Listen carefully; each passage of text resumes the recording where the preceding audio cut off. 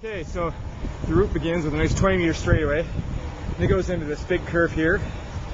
It's kind of a long; it's about a 40 meter curve. And then you can see you come out of that into a, another straightaway. And that's a really nice relaxing time. Wind's usually at your back. And then turn again. About a 30 meter turn. And then down this front straight and then boom, that's the course.